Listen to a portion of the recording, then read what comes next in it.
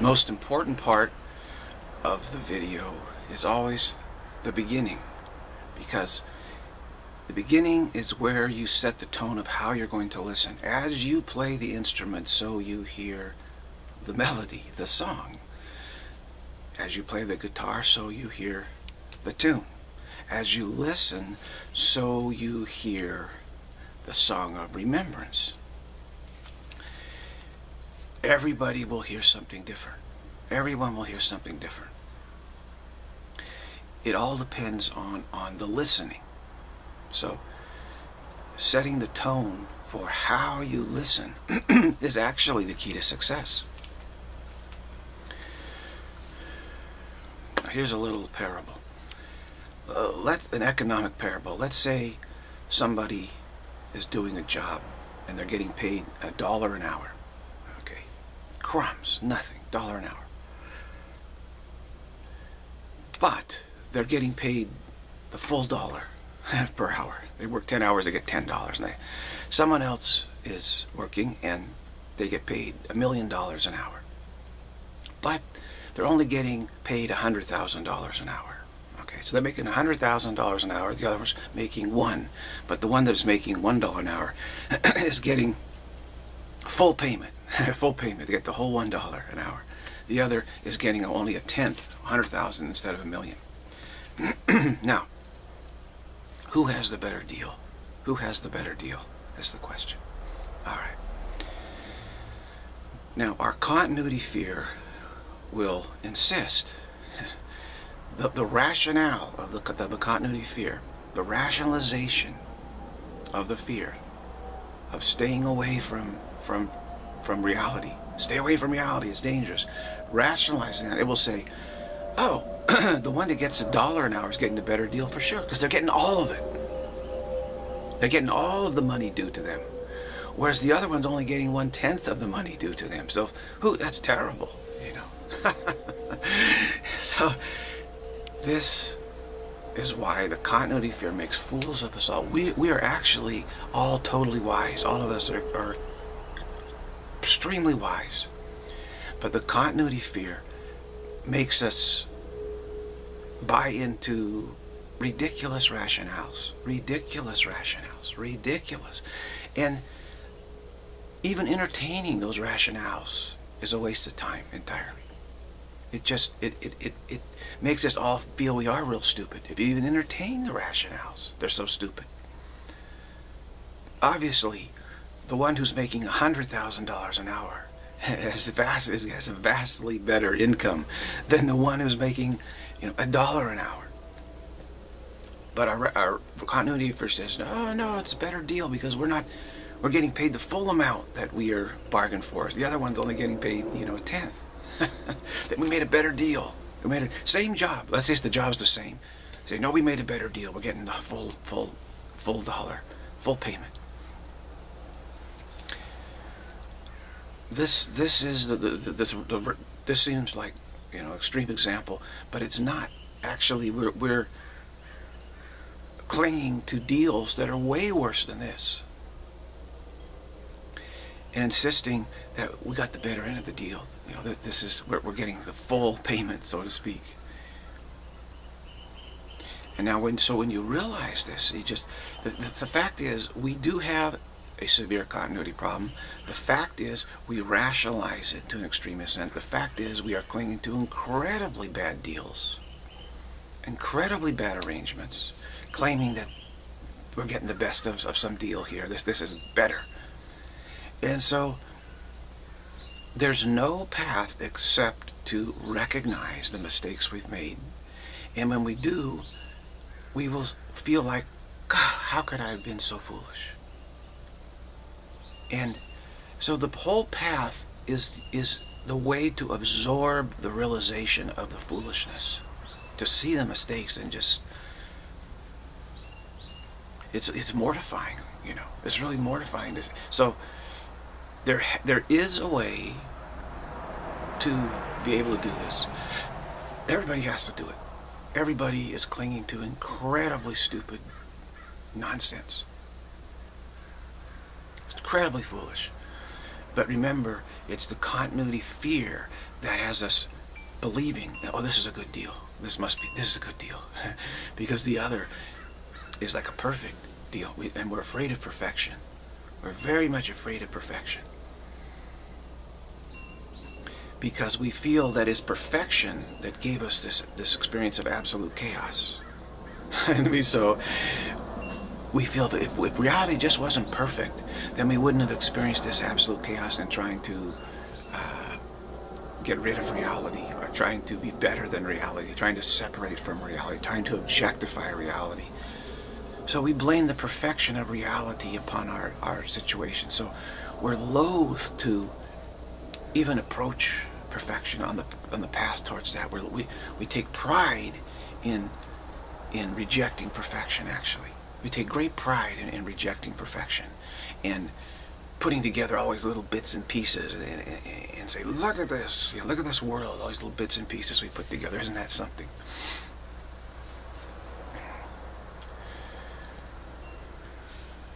clinging to, to crumbs instead of the perfection that all is. Because we tried to get rid of perfection. We tried to get rid of it. We said, I got something better than perfection. So, and when we try to get rid of perfection, it's that which caused our problem. This, con this arising of absolute chaos that now we have, uh, we're desperately trying to figure out a way to, to, to honor that our creativity that could not flow there, the, the way it was flowing was, was not to our liking at all. It's kind of like, how do you make reality imperfect? And this chaos of, I can't find a way. I can't find, I want to find a way, but I, I can't see any way. I'm trying all ways. None of them are working. See, this is chaos. I'm expecting it to work here, but it's not here, so it must be over there, but it's not there, but it must be over there, but it's not there, but it must be over there, but it's not there. This is how the this is the mind, this is how it experiences trying to bring imperfection to perfection. I think it's got to be there, no there, no there, no there, no there, no there. It's there, there, there, there, and it just keeps bouncing around like that.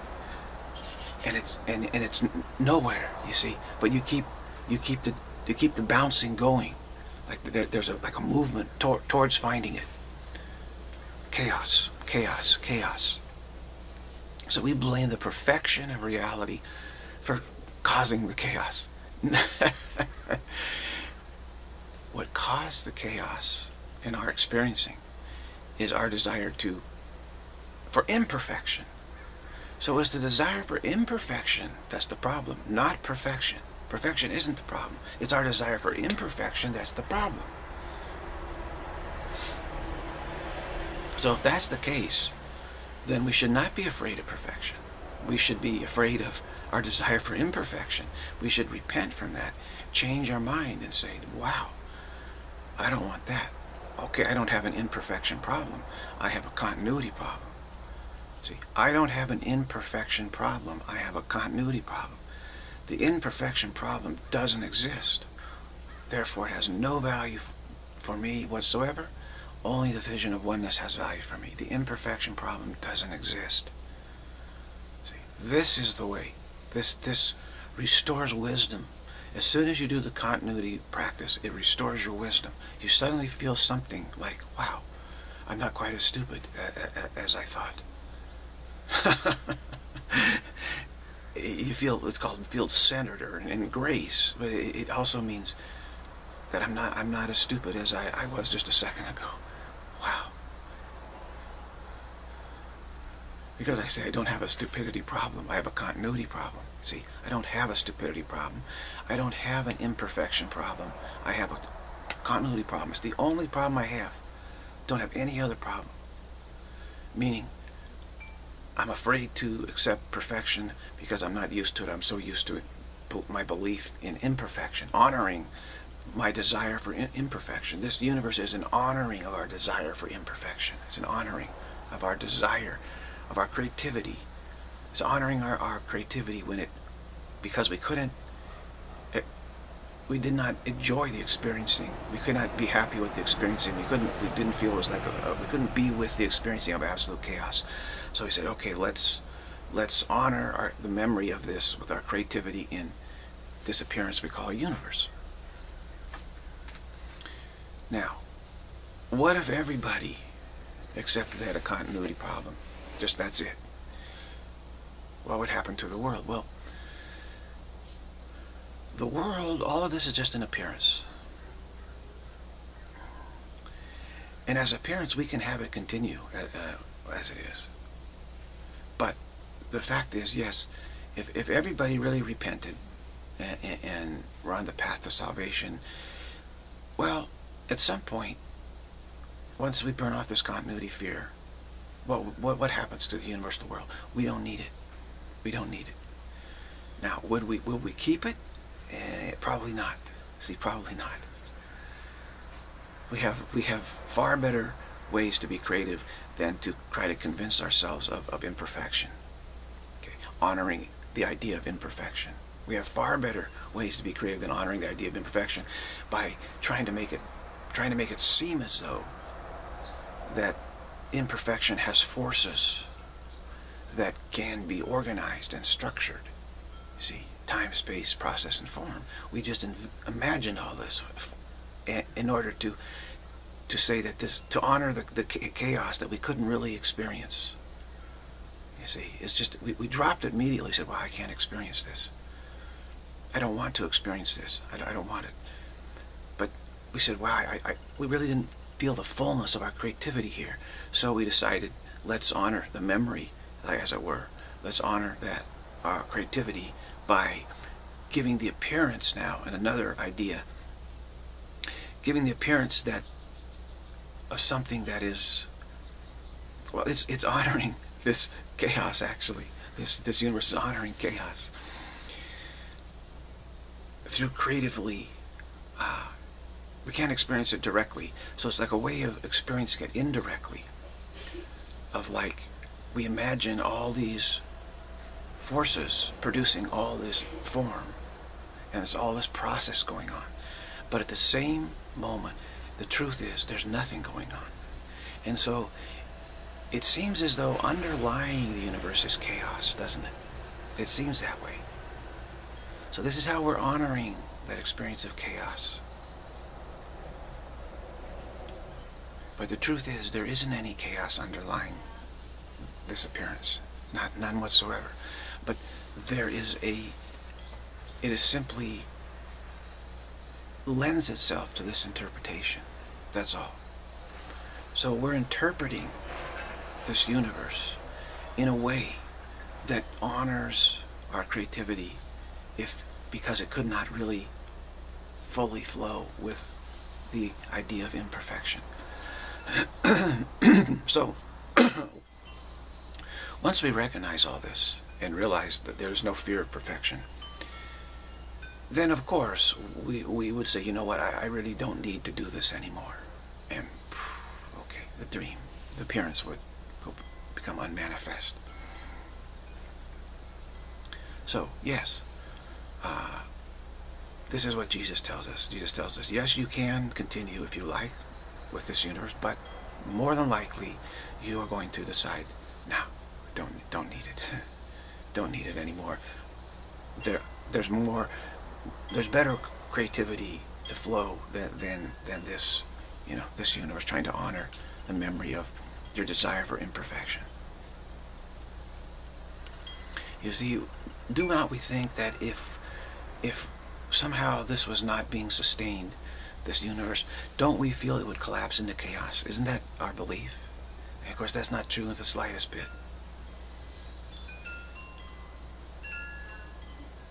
Nothing would happen to our being. If this entire universe disappeared, our being would not be the slightest bit affected. Because we know that we can manifest this universe again in an instant, or infinite universes, actually. we, would not experience any sense of loss, or deprivation, or lack of being whatsoever. Manifest, unmanifest is all one to us our spirit. Manifest and unmanifest, it's all just one. It's not two-ness, it's oneness.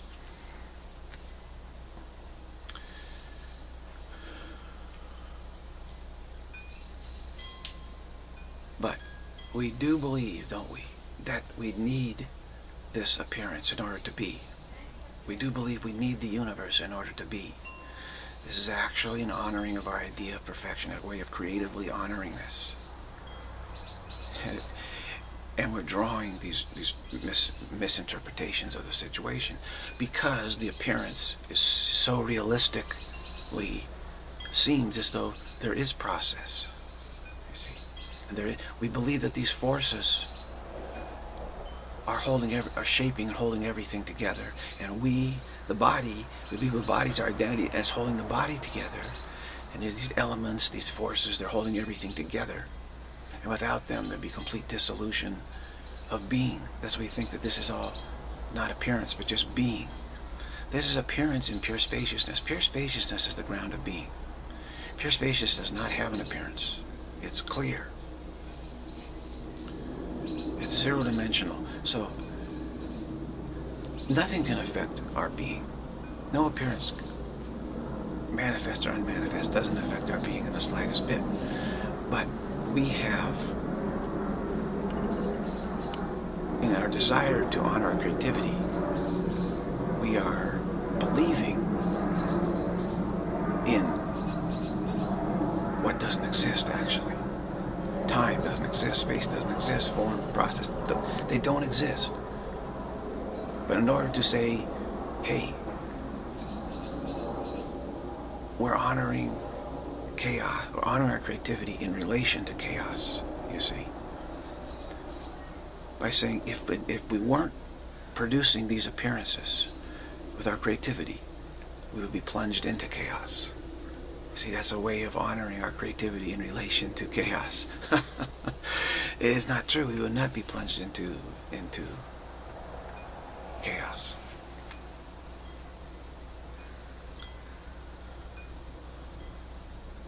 Now, th this this sharing is so deep that you should not don't struggle with it. Don't never struggle with anything that that you that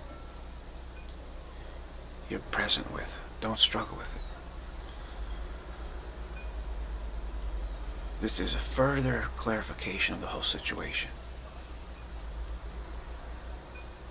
And it's a blessing we've gotten this far, actually. I asked for yesterday for, and here it is.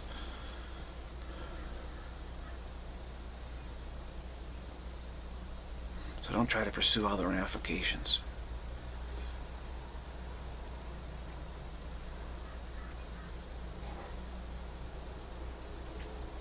It's like someone who's really thirsty and there's a glass of water or a big pitcher of water, lots of water for them to drink, or like a, like a, like a bottle of water. And as they start to drink this water, they say, wow, that's great. And they look out and they see a lake there. And they go, oh my gosh, you know, wow, look at all that water. And they forget, they forget to drink, drink the water that they have. So before we jump in the lake, you know, let's, let's drink the water that we have.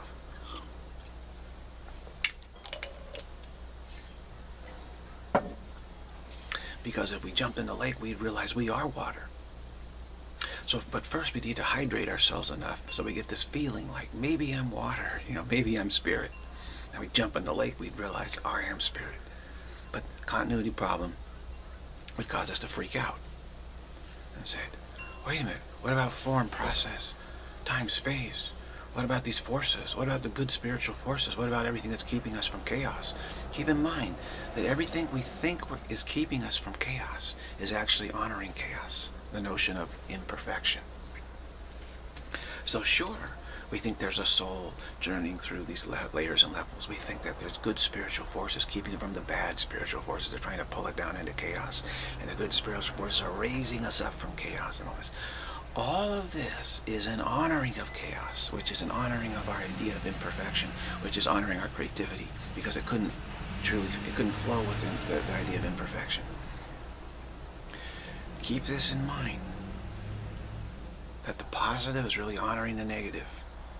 The idea, if I don't do this positive, I'm going to collapse down into the negative, into chaos. See, ultimately, we don't need to do anything. Our being doesn't need to do anything to avoid chaos. Nothing, so to speak. See, the economy, what we need in this world is not an economy of works, which is this, let, let's keep ourselves from chaos. Let's, let's, you know, focus on the good spiritual forces and do all sorts of spiritual wizardry and stuff. That's duality. That's honoring the chaos, actually. That's doing, doing, doing. That's works. You're not saved by works. You're saved by grace, which is simply not doing. So, this world is based on an economy of works right now, which is a disaster for this world. A disaster.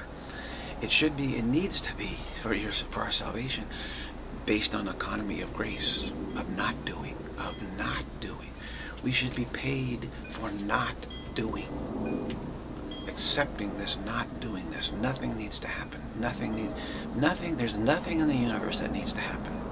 There's nothing that needs to be done. That is true this very instant, right here, right now, everywhere, in every instant it is true. So we should be paid for that because that is what saves. The economy that we have now doesn't save us, does not lead us to salvation. It, it, it, it really leads to a, a strengthening of the fear of chaos, which is the honoring, trying to honor the idea of our creativity in relation to this idea of imperfection. And imperfection doesn't exist, can never exist. Reality is perfect, is flawless.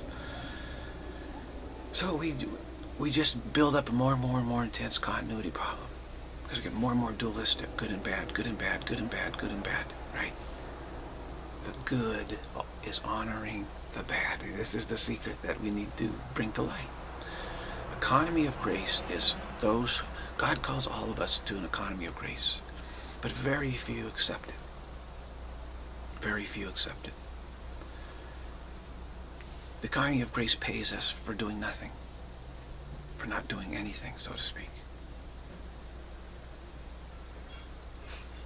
For simply abiding in this no need to do anythingness, which is really reassurance, reassurance, reassurance. I don't have to work with these forces. I don't have to protect against chaos. See, there's no need for that whatsoever, actually. It's just a, so this is the economy of grace. This is the economy that needs to take place in any world. In, in the past, certainly in this world, that was in place in, a lot of places where you'd have those quote-unquote renunciates from doing were provided for. There's a economy provided for that. In fact, that was the most first and foremost provision of any culture or society is the providence for those who remind us that we need, need do nothing. Nothing has to take place in this universe. It's understanding we have a severe continuity problem. There are those here to help us with that. And therefore, that's the first order of business. Since we, those in this world, are still involved in doing, right? They still have a severe continuity problem. So since you are doing and believe in doing, then the first order of doing needs to be the to contribute to the economy of grace of those who are freed from the delusion that doing is necessary. That is the first order of business, and that has been true in many places throughout history. Now, it is no longer that way.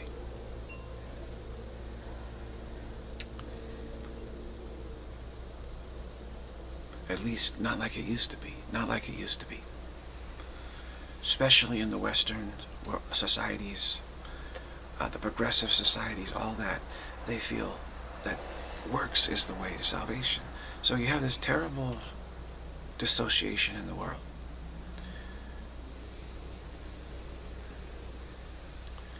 And so we need an economy of grace. We need an economy of grace, economy of grace, economy of grace. And those who believe in works uh, mock this, you know, truly mock it and, and, and say, that, that this is uh, just late. People are lazy, you know, not willing to do works. Abidance in this world, abiding in, in this is very difficult. Abiding in, I need, nothing needs to happen this. is really the greatest blessing this world can, can really absorb.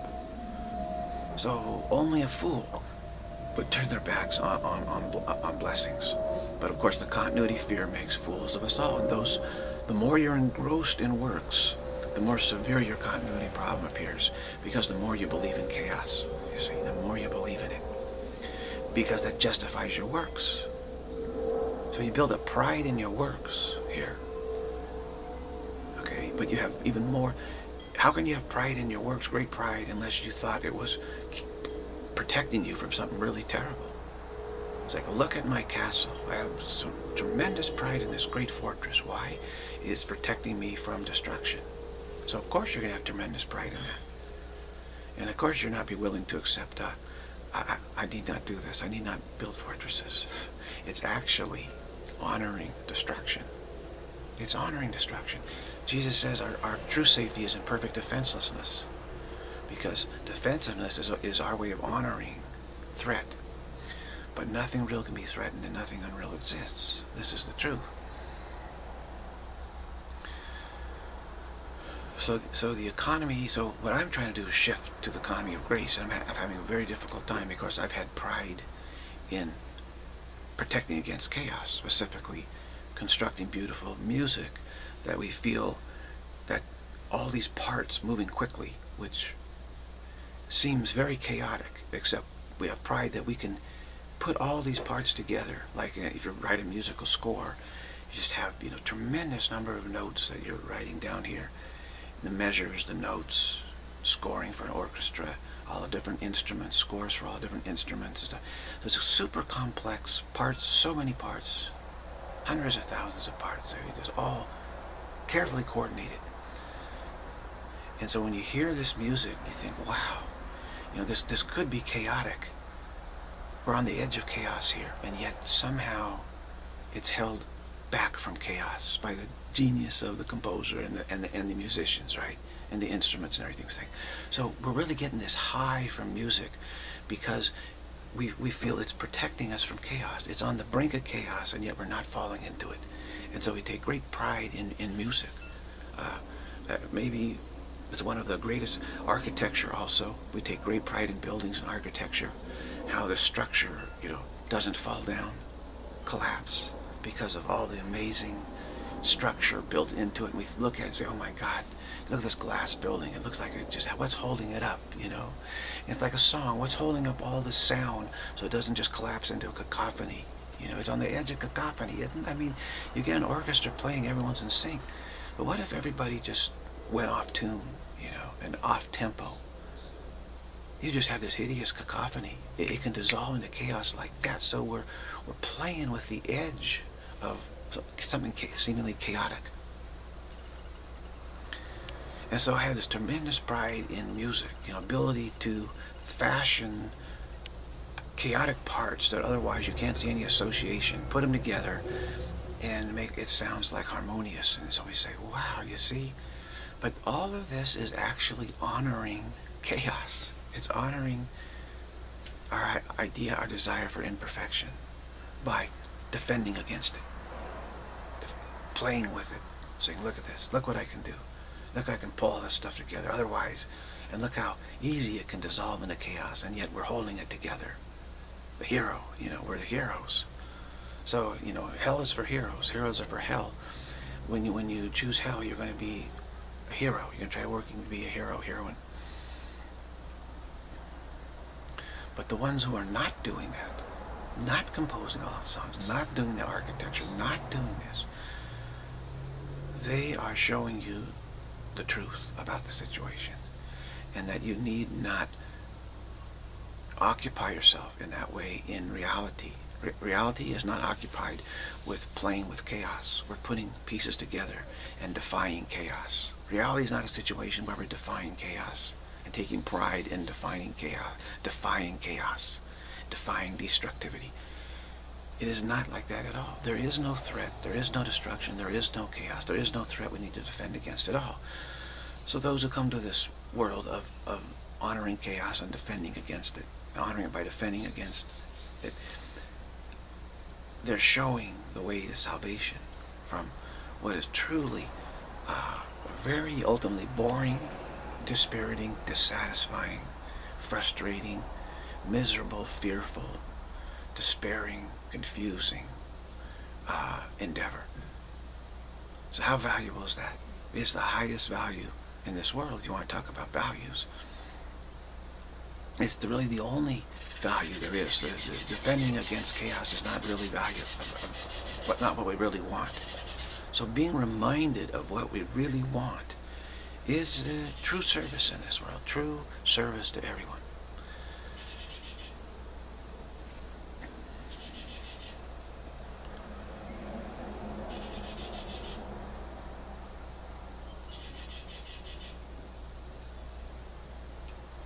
There's a battle in this world.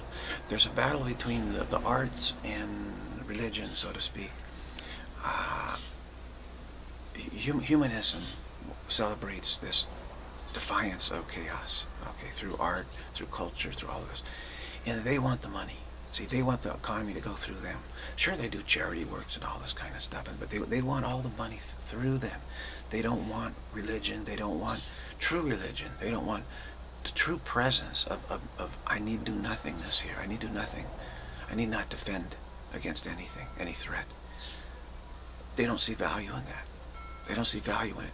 So they see no value in it. so they say, well, well, can't you like, don't you have some potential? Don't you have some talent here? Can't you do something to defy chaos? You know, this is what the world wants. It sees no value in, in, in the enlight, enlightenment here sees no value in it. so you have a situation now uh, where what's happening is this global bureaucracy is being instituted.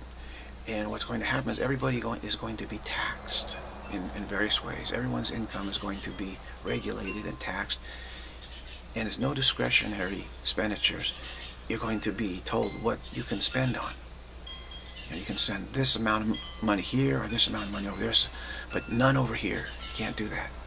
And so they're going to have like culture is going to tax. It will all be taxed and, and, and our money then used to this dance of defiance of chaos, to augment culture, music, culture, and we think that's a golden age where, but it's not. It's truly not. And I know what I'm talking about uh, because I used to be part of that uh, attempt for a golden age through, through high culture, uh, genius in putting together this dance of, of defying chaos. And of course, we all wanted the money to, to support this. Many people did. Many, and now it's a globalization of that where we all have to support the common good, which we think and the bureaucrats decide what the common good is, and above them are the ideologues. And the ideologues are driven by this desire to honor creativity in relation to chaos, and therefore to defy chaos. Okay, to defy it. The dance of defying it. Says, no, you can't get me, chaos. Look, look what we can do. Look at this building we can build. Look at this culture we can build. Look at this world we can design. It's all the defying of chaos, which is really honoring chaos. And so they, they want this whole planet, everybody, everybody, to be engaged in this, with not and with no exception. See, this is the whole point of this next phase in this world, is no exceptions, none.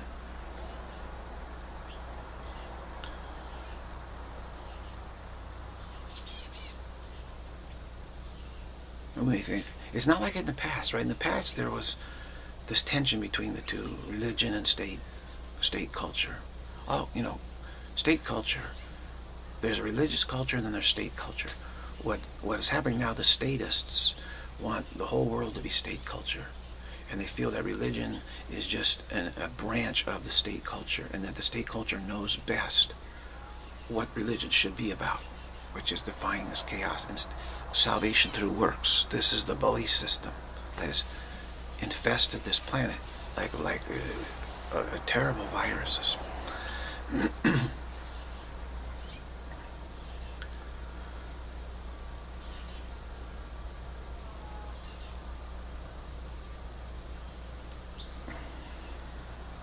as I call it, the, the, the New World Order, worship of the goddess of statism and culture, which is, the goddess is a symbol of defying chaos. So look how beautiful we can make this tree, this landscaping, this house, this road, this community, this neighborhood, these buildings, these parks, these cars, these clothings, our teeth, our hair, our bodies, our actions, our body language. Look how graceful, look how beautiful, look how we can defy chaos here. That's called the goddess. Okay, that's the goddess principle. Look how we can organize and structure parts to defy chaos. Even though we, and what we're doing is we're saying, we're honoring chaos. We're saying, look at all these chaotic parts. If it weren't for us, there'd be chaos. That's the goddess principle. Okay. And that's the New World Order. I call it the goddess cult. Cult of the God. New World Order. New World Order goddess cult. This is what is taking over this planet. Been there, done that. As I'm speaking as a as a prior insider to all of this. You know, informing on it, like an informant, informing on this, what's going on. And it's uh, it's ultimately totally dissatisfying. It's not what we really want. It's what we want in terms of honoring our creativity. Okay, but it's not what we really want. Because what we really want is we want to be experiencing the allness, the, cre the creative flow of the allness. We don't want to be honoring that we're defending against chaos, honoring our creativity by defending against chaos. We want to be actually experiencing the flow. That's what we really want. So we're in this dilemma between what we want and then what we really want. And what we really want is tugging at us all the time. You see, and we say, now I, now I want to keep on honoring my creativity. And if I don't do that, I feel like I've dishonored my creativity and all that kind of, you know, that's, that's how we feel, that's what we say. But it's really a continuity fear that's talking. Okay, this is what we don't realize. So this is the central pillar of, of teaching that, that I'm sharing, is when we realize that all this saying that I want to keep this statism and the goddess cult, that's only, we say we want it because of our continuity fear. If we didn't have a continuity fear, let's take the continuity fear out, out of the picture. What would we do? Well, we'd say, we'd jump in, jump to what we really want. We say, oh, I know what I really want. This other, no, I don't want anymore. I no way. Forget. I'm done with that. Done. Like that. It would be that quick. So, what is it that is holding us to, to, to what we keep saying, no, this is what I want, even though we don't really want it? Continuity fear. Continuity fear is the reason. We're afraid of perfection because we, we have been honoring imperfection for so long. The idea of our, the creative idea, our creativity in relation to that idea.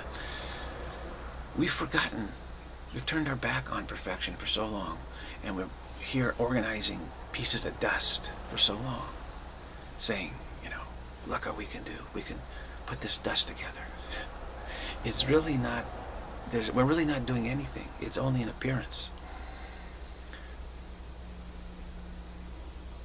Because even the dust isn't just an, it's just an appearance. You see, we, we think there's some irreducible parts that we're working with. We are not. And we're actually working with the total seamless living light. There are no parts at all. But we don't see this. We don't recognize it. We, we, refuse to recognize this because then we can't really honor chaos, right? If, if we see there is no chaos, how can we be honoring it? Honoring our creativity in relation to it. So we think that there's all these parts and pieces that we put together. And we're holding it together. And we're, you know, we've just, we're so enthralled by, look what we've done, look what we've done, this is so amazing.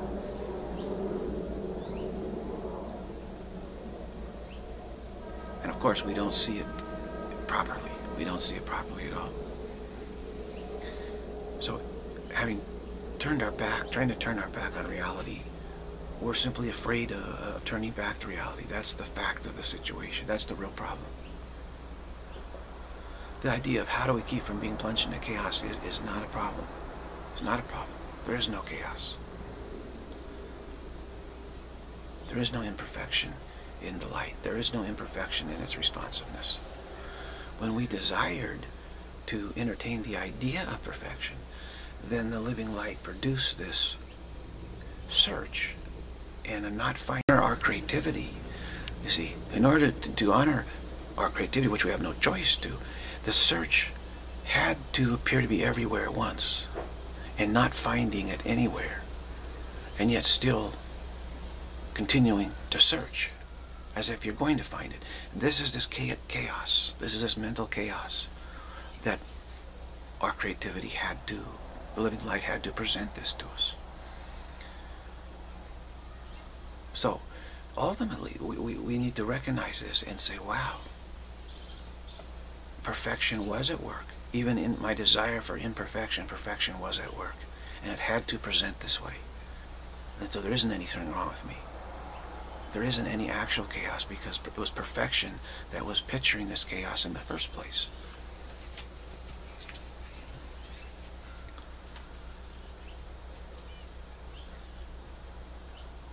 And we're kind of saying, wow, I wish it, I wish it had been something else. I wish it had been some other way. And then we, we have this experience of the universe. But that's sort of like a, you know, I wish it wish it had been some other way, kind of experiencing here. I wish it had been some other way. I wish it was like chaos was uh, over there and we were over here and we were safe and it wasn't chaos, but we were on the edge of chaos and we could look down at it and experience it from a safe place. That kind of I wish it were this way, so that we have this dream of a universe. It's like that. It's like we're on the edge of chaos all the time, isn't it, actually? That's what the news does for us, doesn't it? It says, wow, folks, you're really on the edge of chaos. But you're safe. You're just looking at, you know, don't worry. Yeah, we're in our houses while watching the TVs and all this wars going on. We're like, wow, that's really terrible, you know. But, oh, we're safe here. this is the experiencing uh, uh, that we're undergoing. So we're saying, I wish it had been that way, but it wasn't. It wasn't. It can never be. Chaos, the, the desire for imperfection can never be other than a perfect chaos. and, and, and, then we say, ah, I can't stand that. There can never be anything other than that. This here is different. It, it's it's a, it's a, like I say, oh, I wish it. I wish it had been different.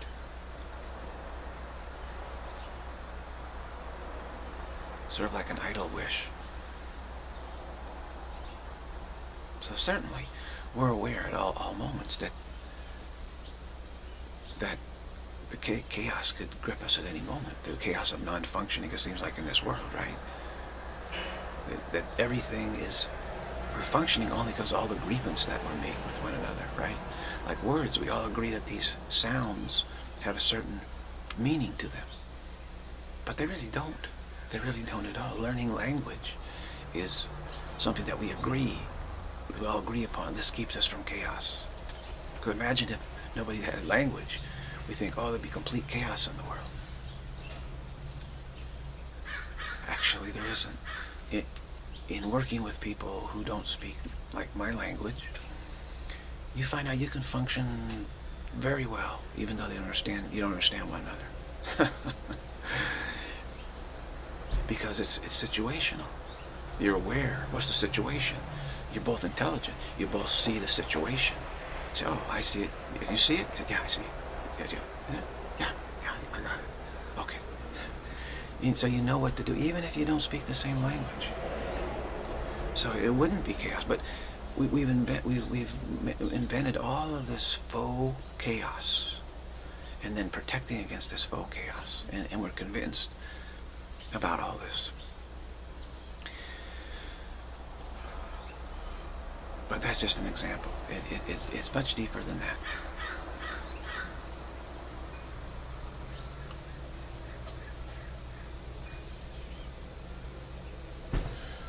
We're convinced that if we, we don't do all this parsing out, that we our mind would be in chaos. But but what we're told is that's not true. When we shift our attention somehow we're, we know exactly what to do, exactly what to say, exactly where to go, even though we're not seeing the threat of chaos anywhere.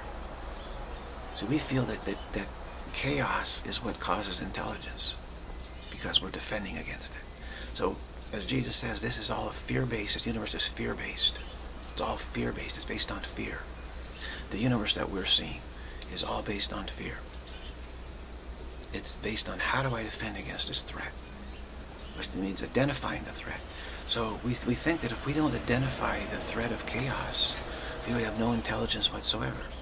You see, so we think we'll become completely stupid. That's why the progressives believe, the statists believe, that they're protecting us from stupidity. They're completely wrong about that. And yet this is completely central to the entire modern age New World Order agenda. Totally central to it.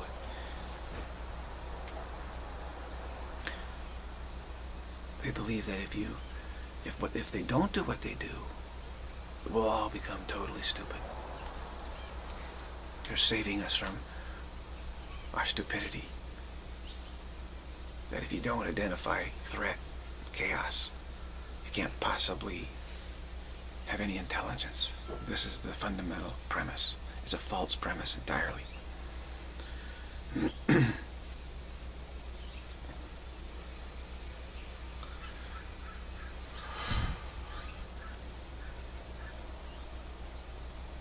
okay, now, I talked about the beginning listening. Okay, so this needs to be emphasized more. Is what I call full stop listening. This is the key. This is the secret to success. Full stop listening.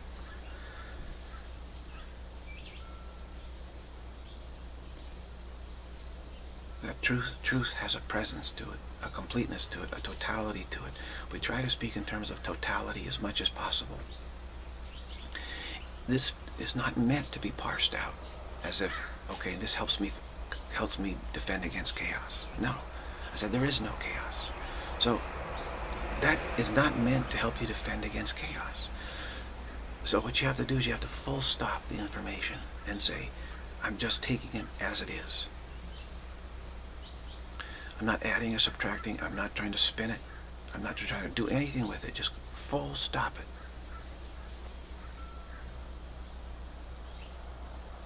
And just let it sit there. It's like, let's say you see something very beautiful.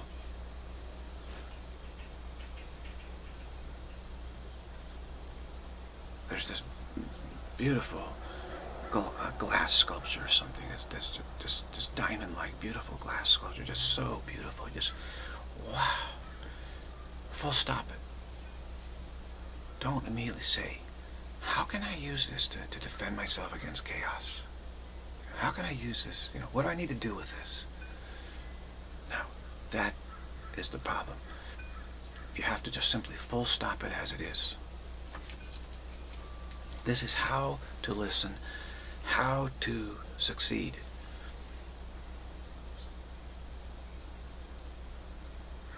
Let's say you heard a beautiful song. Now, if you're a business person, you say, oh, wow. Uh, oh, do they have, they start thinking, do they have an agent? Let's say, let's a beautiful singer, they sing so beautiful. Wow, do they have an agent? Uh, wow, how can I make money off of this? How can I get this person out to do more. What can I do with this? You know, see, it activates all this whole mindset of what we call intelligence.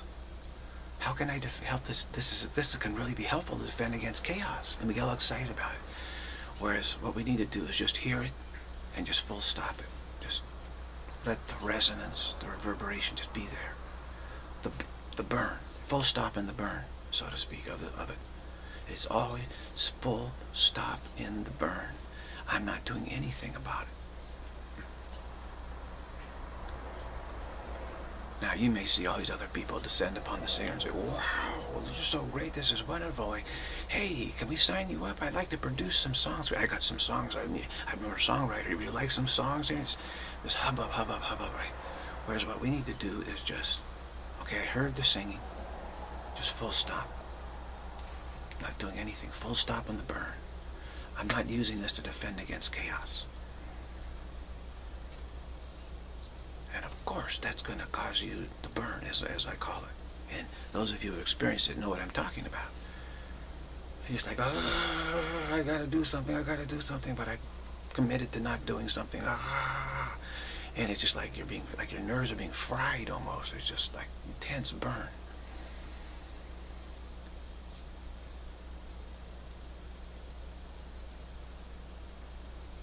That's why it's so important, the economy of grace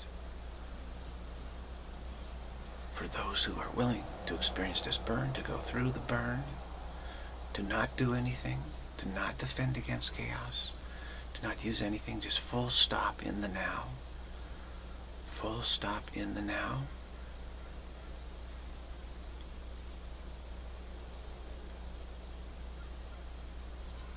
This has a profoundly helpful effect on the world. So we need an economy of grace. And I'm trying to accept this, you know, which was my own pride blocks it, has been blocking it. I said, I don't want any money whatsoever unless it's for the works that I've done. I refuse to accept something for nothing. In other words, for no works. But actually, the highest work is no work at all, is full stop in the now. Full stop in the now. This is the work of freeing from the delusion of work. So I'm trying to, I'm trying to say, okay, I'll accept some money. I'll accept some support. I'll expect, I'll accept the, if a, the, the economy, of the flow of the economy of grace to go through me too. You see, it, it's up to each one of us, but we're being trained to not do that is the problem in this world. The reason why there's so few, few saints in this world this time is we're all being trained not to be saints not to be part of the economy of grace. A saint is simply part of the economy of grace. Someone who, who is full, you know, more fully accepted the economy of grace and is functioning in it very, uh, very smoothly. And we're training ourselves not to do that. And this is disaster for the world, for sure Of course, the more you pride yourself in defending against chaos, the more you're honoring chaos. And the more you need, the greater your pride is, the more you need chaos to seem to be threatening you. So that you can prove how great your pride is in defending against it. So again, all this defensiveness is honoring threat. It's honoring the idea of threat. So the more we try to honor it, the more threatening it all becomes. And that's this is what we're experiencing now in the world. The world is way more threatening than it used to be. Way more threatening. And there's vastly more pride in defending against threat here than there used to be. There used to be people in shroud, now, ah, you know, I don't really want to worry about defending against threat so much. Know? And that actually dissipates the threat. That's why I say love your enemy. Don't try to defend against threat. The, the less you are concerned about defending against threat, the less threat arises for you.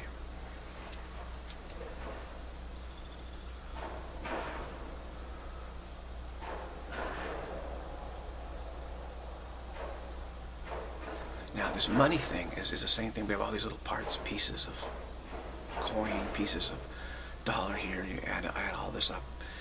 And we, we feel if, if we didn't have money individually, it was just, it would be chaos. Money would be everywhere. That's chaos, we think. So we think that by hoarding, by collecting stuff, we're, we're defending against chaos.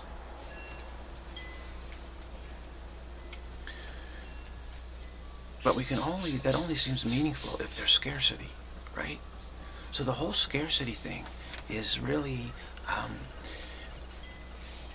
honoring chaos because it's saying there isn't like perfect abundance always everywhere. If there was perfect abundance always everywhere, how could we honor threat? So of course we have to believe that there's scarcity. And money is just a symbol of scarcity, actually. It's just a symbol of scarcity, at least in the economy of works. Now,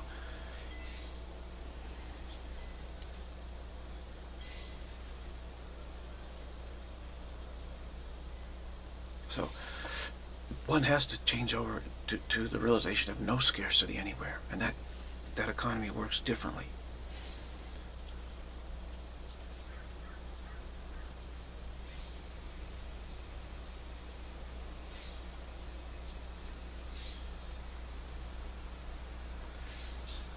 That economy works by those who are willing to recognize there is no scarcity starting to then they're willing to have that presence reminder there. And they're willing to give up some of their belief in scarcity meaning money. Money is just a belief in scarcity actually. They're willing to, to relinquish some of that in exchange for the experiencing and the reassuring that, that they don't need to keep honoring threat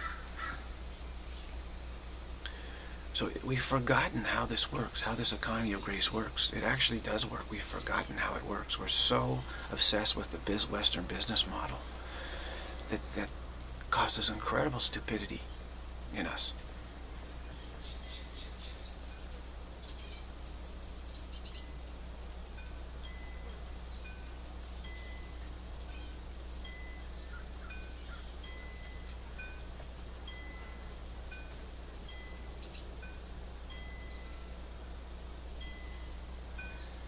So for those who, who, who are rejecting this, then, then it, it won't seem that grace is working for them. And so the you know the ability to reach a lot of people in this world, uh, it, it's it's lessening and lessening and lessening. And people can claim, well, God's grace is getting less. No, it's the willingness to accept it that's getting less.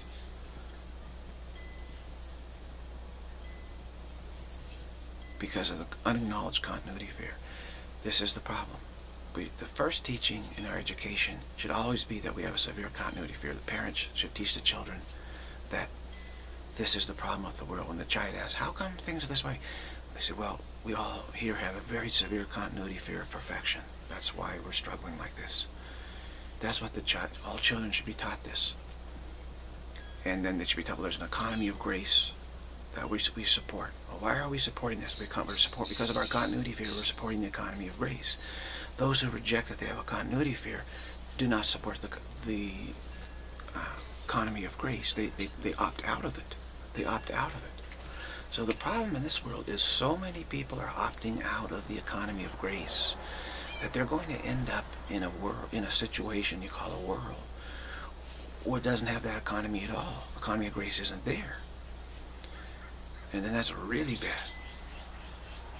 But this is what, what, where they're going. And because of unacknowledged continuity fear, you cannot stop them from that. They, they feel you're attacking them.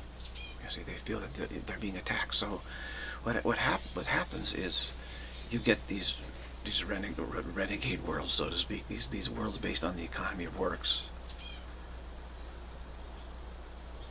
and you have to just allow them to, to go through this. And then they feel that there's something missing. They don't know what it is. And then gradually they may find themselves at some life on, on, on another planet where they introduce to what, what the issue really is. So there are these planets, these dwelling places that are based on the economy of works. Okay.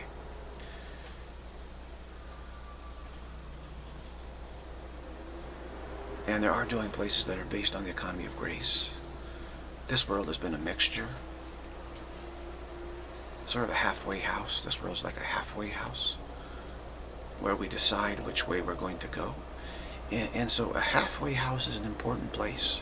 The, the, the trouble right now is it's, it's attempting to convert this planet into a economy of works entirely. So the halfway house functioning here, this planet is, is, is being, you know, severely dissipated. You really, this is not a place, a go-to destination for those who really want to decide which, which way do I go. Okay, you see, when we have a severe continuity fear, we're ambivalent. So we need a dwelling place where we can evaluate, okay, here's economy of works and there's also economy of grace. There's this teaching, there's that teaching. Okay, which which one, you know, do I want? So there does need to be this separation between uh, church and state. Uh, to some, you know, there there do, there do need to be these two options present in a half halfway house kind of situation. And ultimately, the spiritual authority does have to be greater in terms of it cannot allow itself to be, you know, pushed around and, and dictated to. Because it needs to present its option truthfully. And of course the others don't know it's the only option. So there's a tension on the halfway house planet. So what these people, the interlopers coming to this world want is they say, look, we'll get rid of this ambivalence here. We'll turn it into salvation through works entirely, all on the same page. This tension gone. We're all, all in agreement. See, well, they're all in agreement uh, with what is dissatisfying and never works and, and don't want. How is that happiness? Well, it's a superficial happiness that doesn't last very long. So, what is going to happen with this planet is, is a big question. What is going to happen soon? in This world is a huge question. Will there be an exodus from this planet? Will, will there be a lot of shifting around? Because certainly, th those who want this halfway house experience and really are serious about choosing this, you know, I got into this planet maybe to, you know, barely able to get this halfway house experience here. So I could contrast and compare, and which is how the continuity fear functions when we're got a lot of fear. We contrast, we compare, we investigate, you know, we spend a lot of time digging into it to try to, you know, get some, make a good decision. Because we're not fu functioning on, on real clear knowing. You know, we have to increase our clarity. Uh, I think right now it's, it's, it's quite difficult to get that kind of experience that I had, which, which connected me with the past of this whole transmission of truth here in this world. So I had all of that going for me, and then you know compared that with the other, and was able to you know work on saying what which is right, which do I really want, what do I really want. what is going to be truly satisfying? What do I really want instead of just what I want? What do I really want? Is it possible to get what I really want? And yes, it is possible. You just have to decide. It seems to me that's becoming very difficult now in this world. Cutting off the history of, of, of spiritual endeavor on this planet, spiritual witnessing on this planet is a big part of the, uh, the progressive agenda. Building statism, the bureaucracy of statism, the regulations and fines of statism. All of that is, and writing out of history books, de-emphasizing, getting our attention off of the great traditions of the other side of the halfway house, you know, salvation through grace, getting our attention off of the whole tradition of salvation by grace is the top, one of the top priorities of the statists, one of the top priorities it's extremely important for them. Because what they want to do is institute a, just a one salvation by works and that's it. And so they don't even want us to be aware that there's another option. And they're hell-bent on this. You know, this is their agenda. And they, they have certainly made tremendous, fantastic in inroads, almost like a rout. You know, they've blitzkrieged the whole world. And blitzkrieg continues. You get so many people hooked on medications and the, the meta message on what they keep now bleeding about is, hey, you want to go back to salvation by grace? Fine. We'll take all your medications away then. See, is blackmail. I mean, they're blackmailing the world, actually. This is one of the way through all the medications that they've provided. Many, many other different ways of blackmailing through entertainment. They say, you don't, you don't like us, you don't want us to be here, and instituting a, a single option Single option. Salvation through works. Oh, okay. We'll take all your entertainment away. We'll take all your pleasure away, all your entertainment, all your food, all your medications. All, they, you know, they'll, we'll take away everything from you. So that they threaten you that way. So they are blackmailers. There's no question about it. The world is being blackmailed. Let's, let's be very clear about that. The world is being severely blackmailed.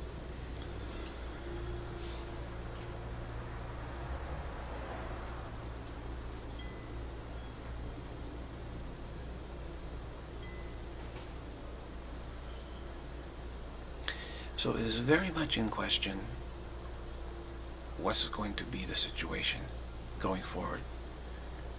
Not just in this world, but destiny-wise. destiny-wise. If you want a halfway house experience, are you getting the, the true benefits of that experience here? Is one question. If you don't even need a halfway house experience anymore, you certainly don't need a statist salvation through works. Uh, once you've accepted salvation through grace, you don't need salvation through works. And if you're then working on halfway house experience for others to help them with that, and it's not allowed here, you don't want to be here. And those who are here don't want you here anyway. Because they want to pursue this salvation through works. They, they, they feel that's what they want. They don't realize they have a continuity fear. Until you realize you have a continuity fear, you really have, you really can't be reached very well at all. And, and, you just have to somehow reach a point where you say, this isn't working, and then you get into a halfway house situation.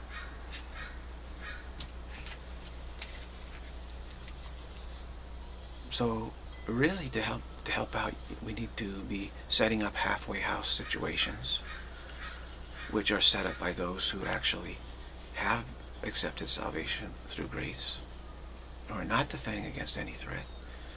They know how to set up ha successful ha halfway house situations. But it is dependent upon our desiring. It can't be forced. It cannot be forced.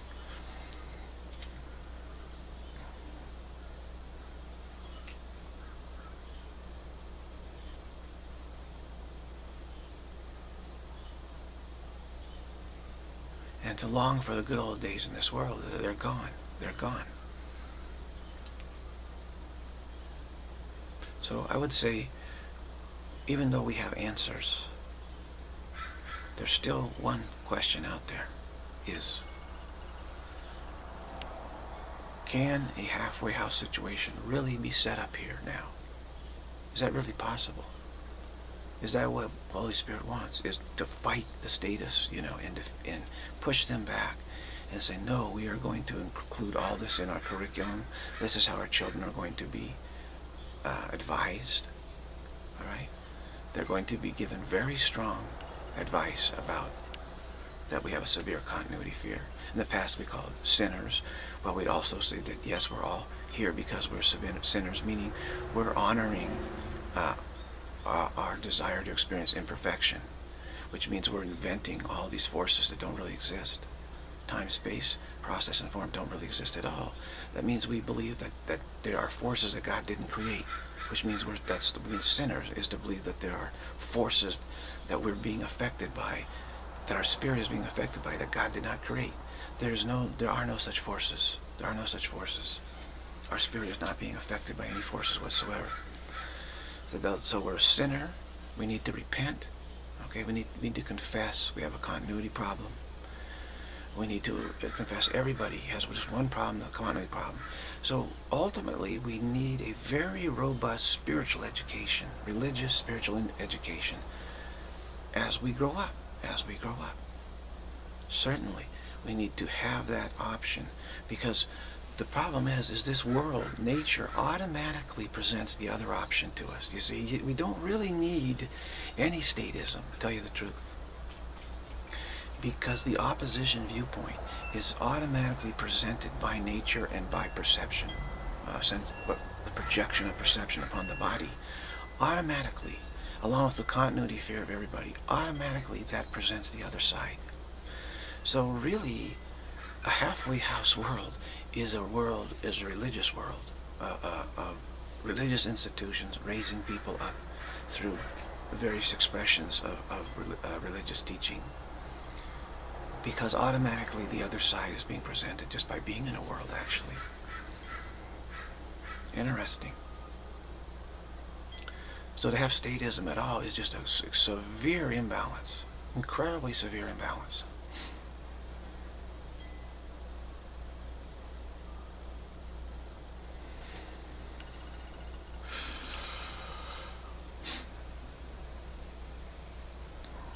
Thought about this before, but it's true. It is very true. Because this, the way that nature is set up is to give the inference of forces that don't exist, time, space, process, and form. It totally infers process, time, space, process, and form, which is not true. So it, it, it is a radical, radical teaching. When you are born into like a planet, the planet is giving you this insanely radical teaching constantly. So you have to have counterbalancing, very strong counterbalancing of that to get even the halfway experience at all. Say, wait a minute, there's another option here. You have to uh, get that. Otherwise, you're going to be totally imbalanced and you're not going to have the halfway experience you, you really want. So it seems to me that the people being born and coming to this world now don't want the halfway experience anymore. They really don't. They want the statist experience, salvation through works. They want to push that, you know, push that. So you don't really have these spirits coming here to a world saying, you know what, I really want the halfway experience. I really want very strong spiritual teaching to balance out the witnessing of nature, the false witnessing of nature. And I'm really dedicated, that's what I want. You just don't, you don't see that anymore.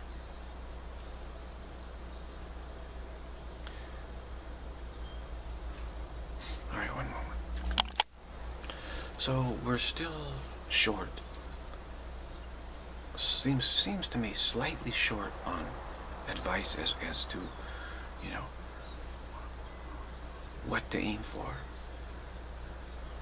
We're a little bit short on it. That's how I see it. It doesn't mean we can't we can't keep working tens, tensely to clarify, because the more we clarify, maybe we'll bring the answers to us. You know, if you're realizing, hey, that actually a, a religious planet is a halfway house, because that is the balance. Without that, there's no balance nature is, is just this intense false witness, an intensely false witness.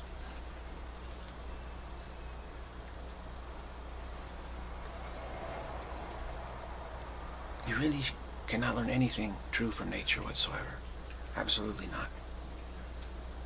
And of course, science, humanism, we're all studying nature. We're all told we need to examine, we can gain wisdom through examining nature. And ah, oh, this is how nature works, and this is this is how I am. I need to be in harmony with nature, and all this nonsense.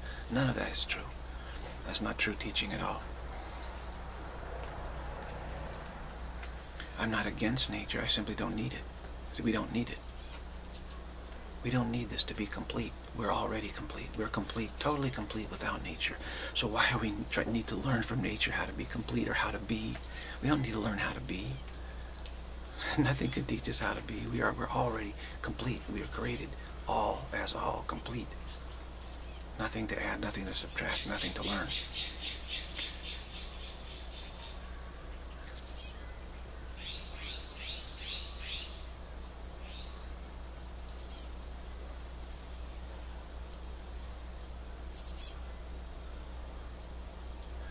According to the scriptures, according to what Jesus, as reported to have said, he basically said, look, there will come an end to this age, which is the end of the halfway house age in, in this world, where those who coming into this world no longer desire the halfway house experience.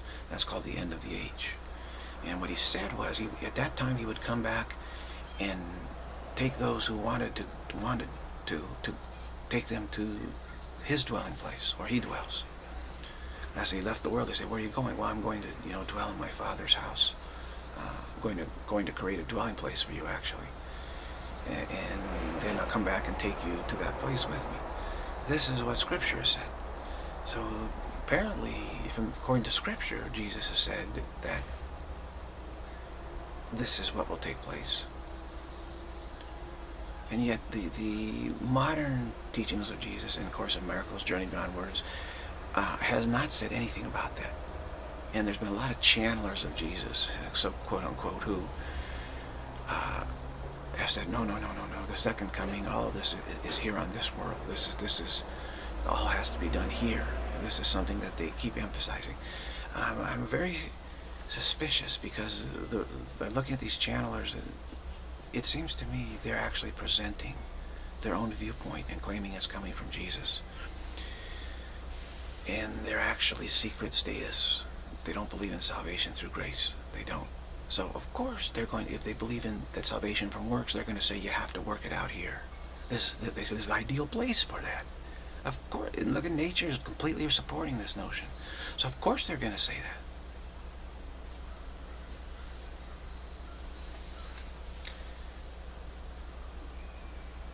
But I've never come across a situation where Jesus seemed to directly address this issue uh, in modern times. Uh, there may be that those simply don't want to hear it.